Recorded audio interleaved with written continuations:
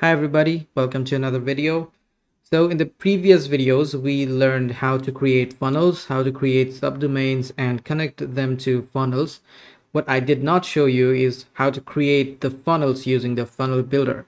So I considered creating a few short videos of me creating a few sections of funnels in HighLevel. So I'm going to start by creating a header in this video. Headers are the top bars with navigation that you typically see in landing pages and in websites. I am gonna start working in this page over here. As you can see, there's already a subdomain. I have created and connected it with the funnel over here. So this is my own website. I have, um, I've just created a subdomain on my own domain and connected it. So let me go to the builder now let me delete everything so this is a blank slate. Let me start by taking a section from here full width. It will be a two column HighLevel funnel builder works like this. There's a section. Inside the section there will be a row. The row will consist of multiple columns. As you can see i've got two over here. Uh, you can take three if you want. I'm just gonna reduce the padding. Let's do 4 4 and there's more padding in it. Now I'm gonna go to the row and I am doing it 4 4 yeah it looks fine. Now let me upload the logo. And to upload the image we have to go here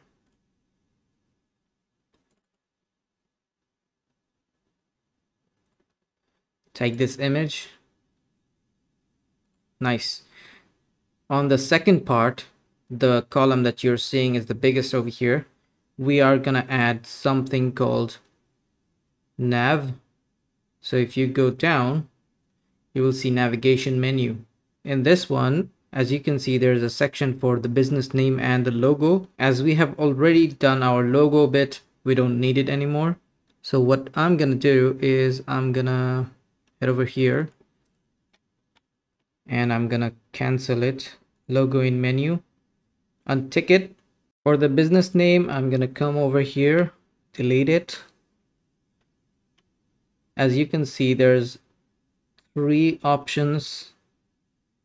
And this one is a sub item of about. So if I hover I can see team which is this one. Okay home. Home is fine. About is fine can add an item here called our services.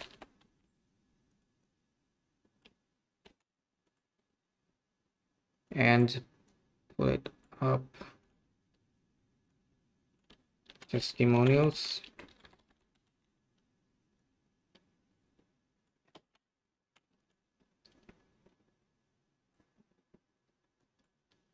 You can change the font size you can put some horizontal space between them. Vertically I think they're all right so let's leave it as it is. Okay 10 is all right. Now let me add another element called uh, I am adding a subheading over here which will just say call us and I'm gonna just give it some space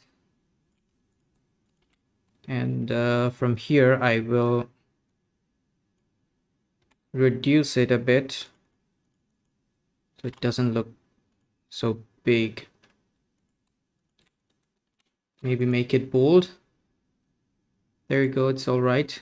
It looks nice. Yeah that's pretty much it. We have created our first header. If you want to change the background color you can do it from here. Oh no that doesn't look good let me add a new color. Will be. And now as you can see the menu is white. It doesn't look good at all. I'm gonna change it to the same color as the whole header. Now it looks all right better than before. Now hit save. So our header has been created